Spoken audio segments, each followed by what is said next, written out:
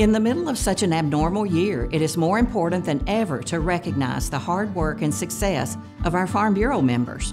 Whether it's advocacy, leadership, or service, your dedication to this organization and to agriculture is what keeps us going forward. We face challenges every year, big and small, and we'll continue to face challenges year after year. What remains constant is your unwavering commitment to tackle any issue head on. That doesn't mean it's always easy, but farmers know how to do hard things and do them well. This year has taught us what truly is essential. Without your continued work, this world would have been hit with disastrous consequences. As movie theaters, sporting events, and entertainment districts remain closed, farms, food processing plants, and grocery stores remain open.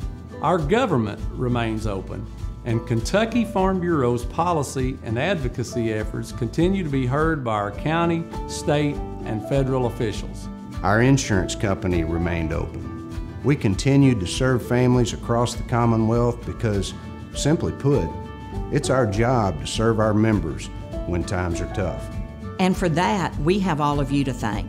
The rest of the world learned something in 2020 that we already knew farmers are essential to the success of this nation and the world. Thank you for being a part of this organization and all you do for our country.